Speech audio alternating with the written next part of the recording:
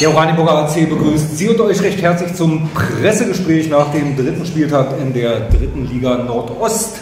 Oranienburger Handballclub gegen Anhalt Bernburg, Endstand 34-32, Halbzeit 18-15 vor 735 Zuschauern in der MBS Arena.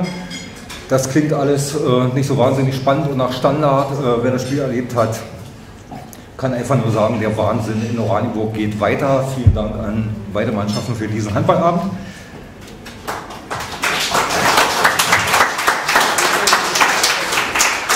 Ja, und wie den beide Trainer erlebt haben, würden wir gerne hören. Von den Gästen ist da der Co-Trainer, der vorher 60 Minuten lang viele, viele Tore für Bernburg gemacht hat. Nico Richter. Ja, auch von mir schönen Abend in die Runde. Vielen, vielen Dank für dieses äh, Spektakel hier. Es ist immer wieder, auch jetzt mit dem Ergebnis, eine Freude hierher zu kommen. Es macht unglaublich Spaß hier zu spielen. Es ist äh, immer wieder ein Highlight in der Saison, weil die Halle eben gut brennt und da äh, meist sehr intensives Spiel rauskommt. Also dafür spielen wir Handball und dafür erstmal vielen, vielen Dank.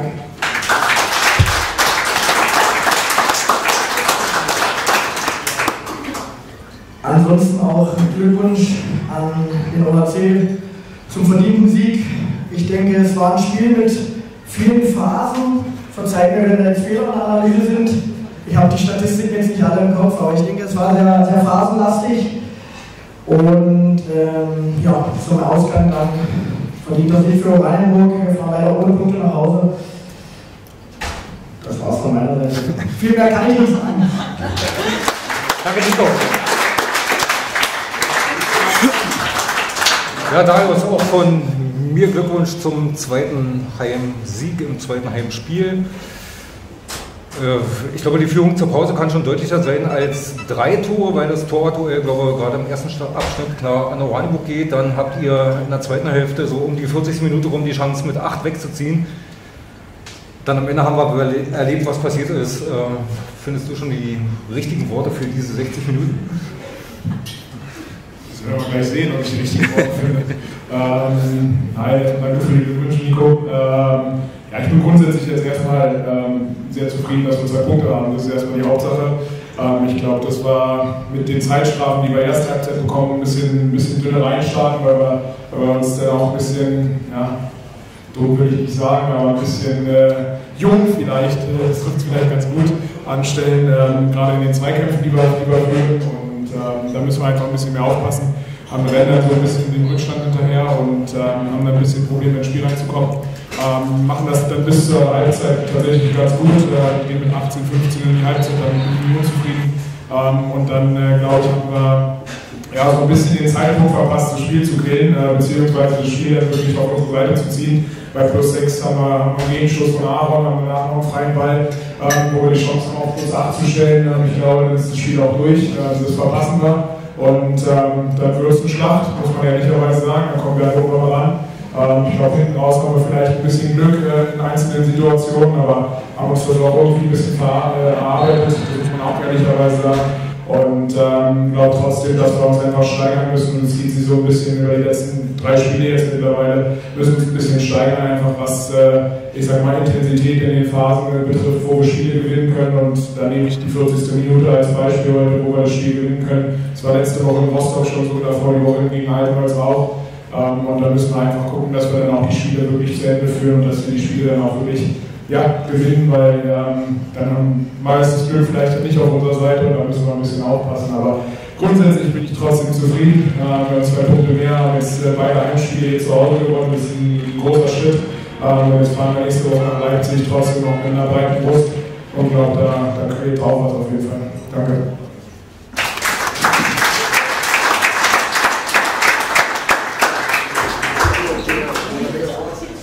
Die Fragerunde ist eröffnet. Mensch, sag nichts Ja, eine Frage kriegst du, Darius. Äh, jetzt haben wir Theo zweimal hier gesehen. Äh, einmal in Rostock gleich einen Anteil hatten unser neuer Vorrat an den bisherigen vier Punkten. Keine andere als der Rest der Mannschaft. Das willst du jetzt hören von mir. Ähm, insofern, äh, nein, es ist ein Mannschaftssport und äh, klar sind wir glücklich, dass er, dass er so hält, wie er hält, aber ich glaube, wir haben auch andere Spieler, auch heute wieder gesehen, die, ähm, die uns extrem helfen, auch die jungen Spieler, also mit Christoph Nehmer, auch wenn er zwei, drei Zeitstrafen bekommt, aber die Fahrt, die er am Busch steht, macht er das auch sehr, sehr gut. Und äh, insofern hat er keinen anderen Anteil als, äh, als alle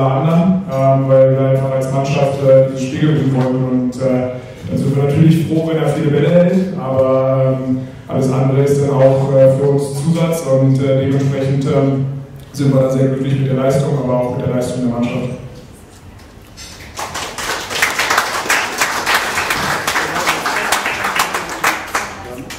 Noch, noch eine Frage. Alex Williams äh, mit seiner Verletzung, gibt es da Neuigkeiten? Ähm, ja, also was heißt Neuigkeiten? Ähm, grundsätzlich ist erstmal nichts, äh, nichts groß kaputt gegangen, das ist erstmal ganz wichtig. Ähm, und jetzt müssen wir gucken von Woche zu Woche, wie es sich entwickelt. Ähm, aber kann hier kein genaues Datum sagen, wann er wieder spielen wird. Ähm, das werden wir, werden wir mit den Ärzten und auch mit Anna als Physiotherapeutin, wenn wir das von Woche zu Woche gucken. Ähm, bis Leipzig wird es noch nichts. Danach die Woche im Normalfall auch nicht und dann werden wir auch weiter gucken.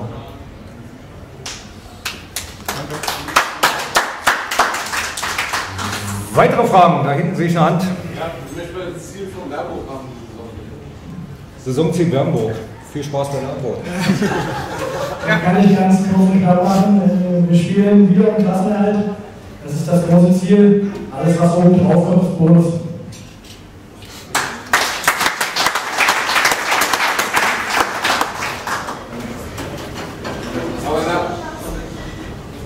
Nachfrage dazu, nach der Leistung heute gegen, den, Mannschaft, die oben spielt, ist es da tiefe Stapel, glaube ich, oder? An wen sollten jetzt geben? An das oben spielen oder an das Tieferstapel? Ich habe damit nichts zu tun. Ähm, dann sehe ich das erstmal als Kompliment. Gebe ich der Mannschaft weiter. Vielen, vielen Dank. Und natürlich steckt in dieser Mannschaft Potenzial. Ähm, die Neuzugänge sind auf jeden Fall Verstärkungen. Wir arbeiten weiter dran, dass sich alle finden. Und ja, wie gesagt, was am als Bonus oben drauf kommt, sehen wir nach der Saison.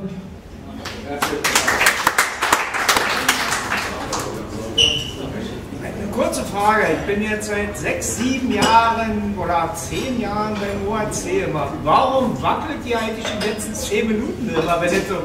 Das ist, das ist schon eklatant teilweise. Dann bist du nicht.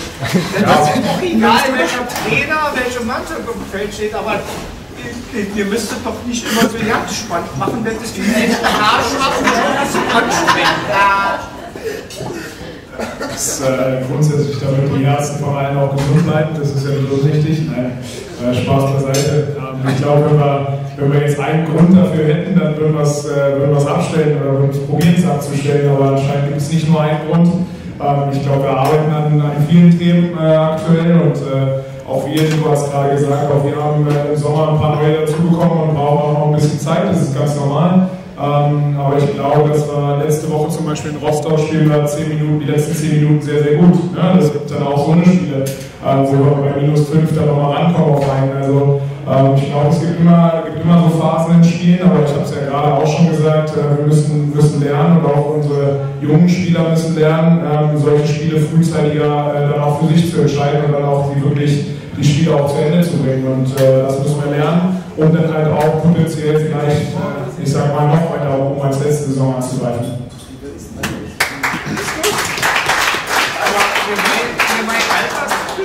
Ja. Weitere Fragen? Die sehe ich nicht. Dann würde ich die Plattform nutzen, um nochmal Werbung für Stadtradeln in Oberhavel zu machen. Wir sind mit dem Team des Oranienburger HC am Start. Die erste von drei Wochen ist rum. Äh, Ich glaube, da geht noch ein bisschen was, liebe OHCer. Also meldet euch noch an unter stadtradeln.de und macht mit. Ansonsten von mir der Tipp. Im Oktober nicht so viel vornehmen an den Wochenenden. Wir haben drei Heimspiele hintereinander weg am 5., 12. und 19. Oktober. Bis dahin wünschen wir unserer Mannschaft erstmal viel Erfolg bei zwei Auswärtsspielen am Stück und am besten wir eine schöne Heimreise und danach einen erfolgreichen Saisonverlauf.